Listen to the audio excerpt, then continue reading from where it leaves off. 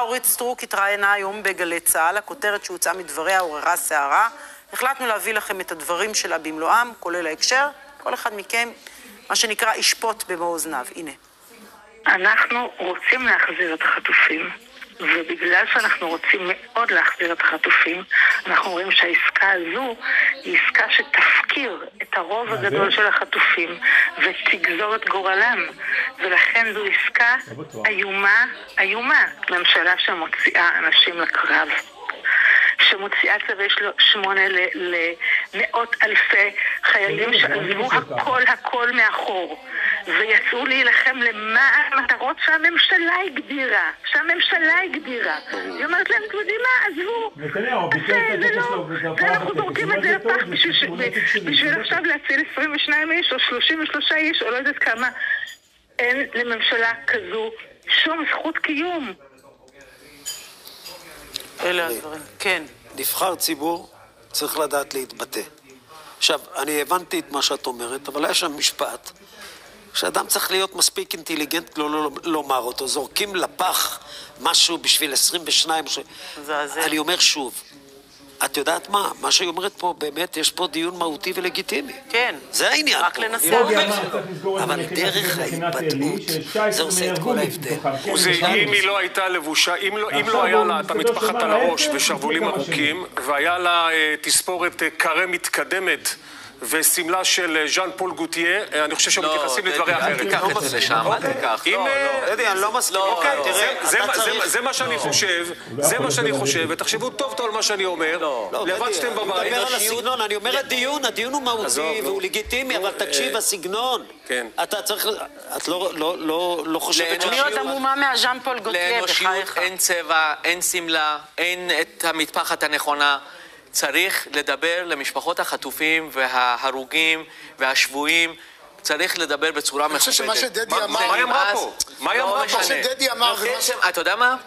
אני לא יודע איך זה נשמע לכם. אני בא מתרבות אחרת. עצם לשים מספרים על אנשים זה דבר... 22, אה, כן. 33. זה דבר שהופך את זה באמת, באמת, סליחה שאני אומר, זה כאילו עדר.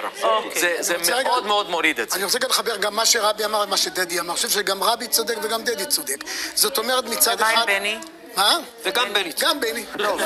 תודה.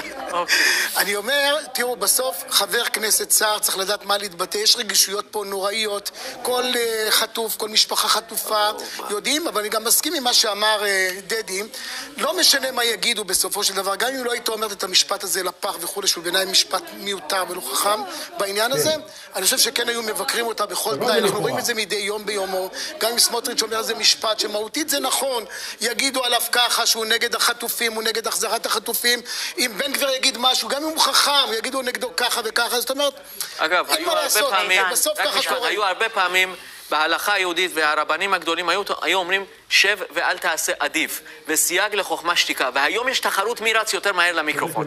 חבל, היא לא ברת סמכה בנושא הזה, חבל היא לא בקבינט המצומצם למשל שכל אחד ייקח גם צעד אחורה ויסתכל טוב. על עצמו כן, א', היא מידע. צריכה לקחת לדעתי צעד קדימה, כי היא נבחרת ציבור, היא שרה בממשלת ישראל. שרה לנושאים אסטרטגיים. חבר'ה, אם יש נושא כן. אסטרטגי, דרך אגב, הוא מונח על שולחננו כבר מה-7 באוקטובר, אבל לא משנה מה אורית סטרוק הייתה אומרת, אני חושב שזה היה מעורר ביקורת שלילית. היא הרוויחה את זה כנראה ביושר. יש לה גם הזדמנות מההתבטאות הזאת לתקן. אה, הדיון הוא לא מהותי פה, הוא באמת לא מהותי, זה משפט או תוכן שאמרה מישהי מסוימת, מחברים את זה ביחד וככה זה יוצא, היא לא היחידה. היא לא היחידה, צריך לשים לב. אל תשימו אותה, היא לא השמש בחנוכיה. יש פה הרבה נרות שמאירים באותו אור, וחבל מאוד. ומילה אחת אחרונה, ובהקשר למה שדדי אומר, אני חושב שאנחנו היום בספירה לאחור לאירועי יום הזיכרון ויום העצמאות. כל השיח, דרך אגב, של כל אחד, חייב שמישהו להשתנות. שומע אותו, גם שלי וגם. שלנו.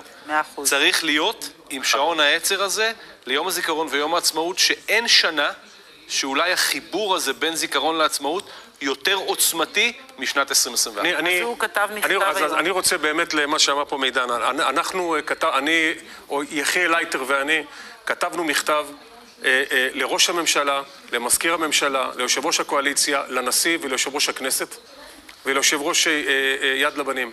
ואמרנו, יזכור עם ישראל את בניו ובנותיו ויכבד אותם.